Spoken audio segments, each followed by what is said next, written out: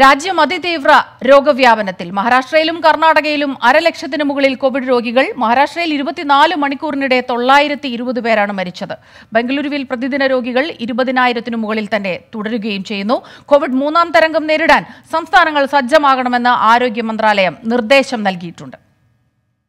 സംസ്ഥാനങ്ങൾ പുറത്തുവിട്ട കണക്ക് പ്രകാരം പ്രതിദിന കേസ് ഇന്ന് നാലു ലക്ഷം കടന്നേക്കും. മരണസംഖ്യയും ഉയരുകയാണ്. കേരളം കൂടാതെ മഹാരാഷ്ട്ര കർണാടക ഉത്തർപ്രദേശ് എന്നീ സംസ്ഥാനങ്ങളാണ് പ്രതിദിന കേസിൽ മുന്നിട്ട് നിൽക്കുന്നത്. മഹാരാഷ്ട്രയിൽ അൻപത്തിയേഴായിരത്തി അറുന്നൂറ്റി നാൽപ്പത് പേർക്ക് രോഗം സ്ഥിരീകരിച്ചു. തൊള്ളായിരത്തി ഇരുപത് പേർ മരിച്ചു. സംസ്ഥാനത്തെ ഏറ്റവും ഉയർന്ന പ്രതിദിന മരണസംഖ്യയാണിത്. നാസിക്കിൽ മാത്രം നൂറിലധികം മരണം റിപ്പോർട്ട് ചെയ്തു. കർണാടകയിലും പ്രതിദിന രോഗികൾ അരലക്ഷം കടന്നു. അൻപതിനായിരത്തി ഒരുന്നൂറ്റി പന്ത്രണ്ട് പേർക്കാണ് സംസ്ഥാനത്ത് രോഗം സ്ഥിരീകരിച്ചത്. ഏറ്റവും ഉയർന്ന പ്രതിദിന കണക്കാണിത്.